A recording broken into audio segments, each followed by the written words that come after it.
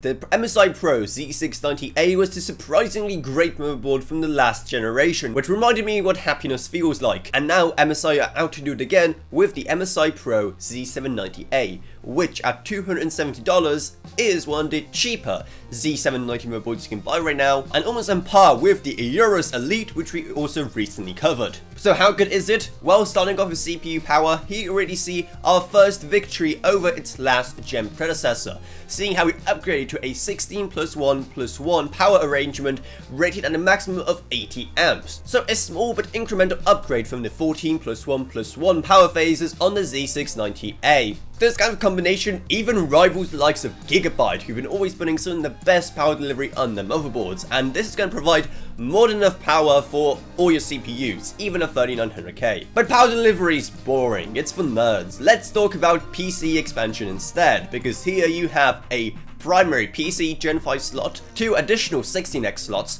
and even a 1X slot. Oh look Gigabyte! People still do put 1X slots on their motherboards, so why don't you? Is it getting old I complain about Gigabyte's PC expansion like in every single video? No? Okay, then I'll continue doing it until the day I die. And because of the technical marvel that the Z790 chipset is, even that secondary 16X slot now operates at Gen 4 speeds, even if it's still only 4 lanes. And also speaking of upgrades, the 4 M.2 slots are still here, but now they all also operate at Gen 4 speed, so you have plenty of fast expansion options there ready for you. Though something tells me that a lot of people who are going to buy a more budget motherboard like this one aren't going to put in 4 M.2s in it, but who knows, maybe I'm wrong. Correct me if I'm wrong down in the comments below, because hey, what do I know? I'm just a tech YouTuber. It's only my job, you know? And finally, moving on to rear I.O., here things are also pretty good, with 7 USB Type-A in total, with just 2 of them being Gen 2, one for your mouse and one for your keyboard. Now naturally, if you are a USB Type-A über alles kind of person, then Gigabyte is still your best friend, but seeing how their current gen budget offering, the Z790 Aorus Elite, only has 9 USB Type-A,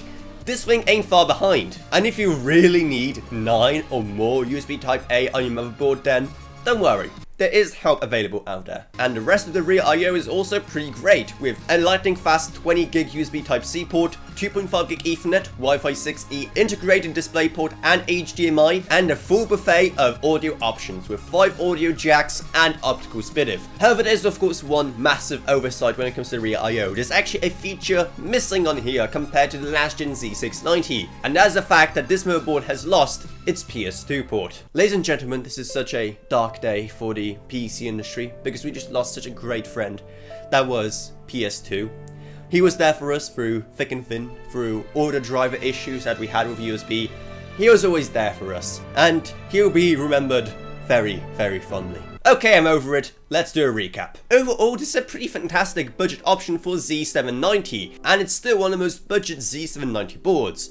Though seeing how you can get its predecessor for as little as $190 now, at the same time, does this motherboard truly do enough differently to be worth it? Now that's not just an issue with this motherboard, that's kind of an issue with Z790 in general, but if you can get its already fantastic predecessor for a lot less, why would you get this? Unless you really need the improved power delivery, PC expansion, and of course the improved looks, because wow does this motherboard look good, then yeah, totally, go for it.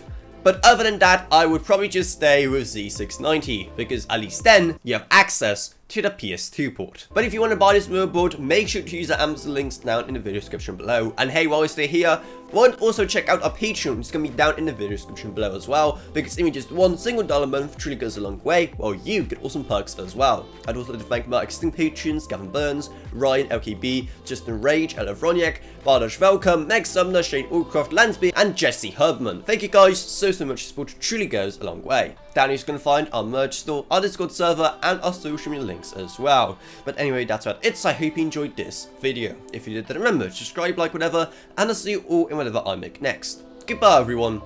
Goodbye.